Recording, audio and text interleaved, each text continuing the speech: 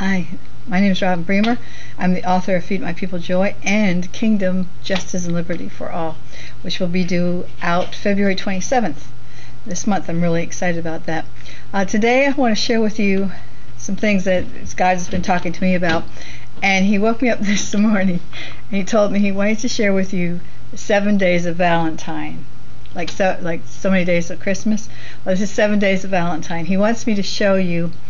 He gave me six words, and he wants me to show you each day something about that word. He's going to share with me, and I have no clue what what each of these words mean to us and how much he loves us. So for seven days, he wants to show us how much he loves us and um, and then the seventh day is when Kat Kerr is going to be my guest blogger, and she's going to talk about the supernatural things of God. Like she's been to heaven hundreds of times and had deal with the supernatural on earth.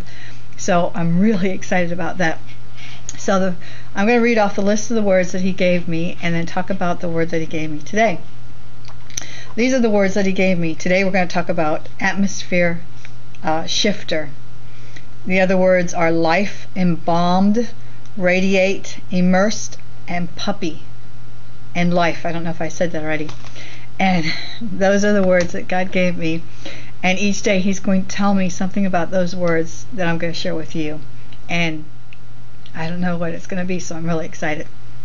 But He really, really wants you to know He loves you.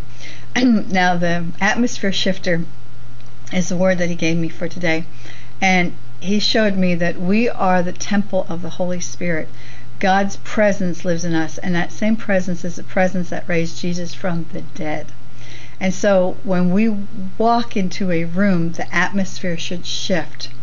We are supernatural beings because we are children of God. We are new creations, new creatures.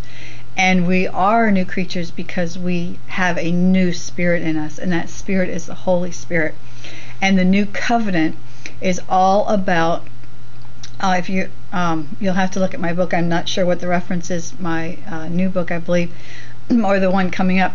Um, the new covenant is all about the Holy Spirit and the words of our mouth. In other words, it's about being supernatural because we create with words and we shift the atmosphere by just walking into a room because we carry God's presence and power within us. We lay hands on uh, people and release God's power through our hands and through our words.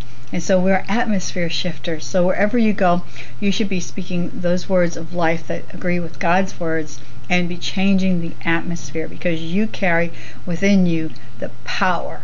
Just like uh, the sh- Peter's shadow crossed people's paths and he brought the atmosphere of God's presence. And God said to me, the more time you spend in his presence, the more of his presence will be with you wherever you go. The more you will be an atmosphere changer, the more you will look like him, the more you will act like him.